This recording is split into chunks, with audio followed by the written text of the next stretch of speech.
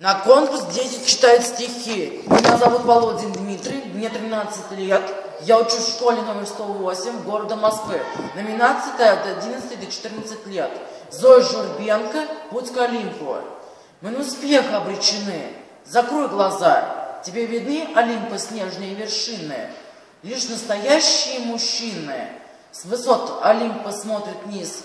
Ты слышишь? В тишине завис. Крик торжества победы воли. Безмолвие звезд в небесном поле. С Олимпа звезды так близки, Сорвав их, все не унести. Ты ими умасти дороги, спускаясь вниз. Теперь она заметна стала и видна. И в крутизне коварных склонов, Обрывов, пропасти бездонных, Она во тьме сияний звезд Другим подскажет, очень прост. К Олимпу путь, ты будь мужчиной. Что это значит? Умным, сильным, настойчивым и верным словом, готовы к трудностям, ну, с Богом.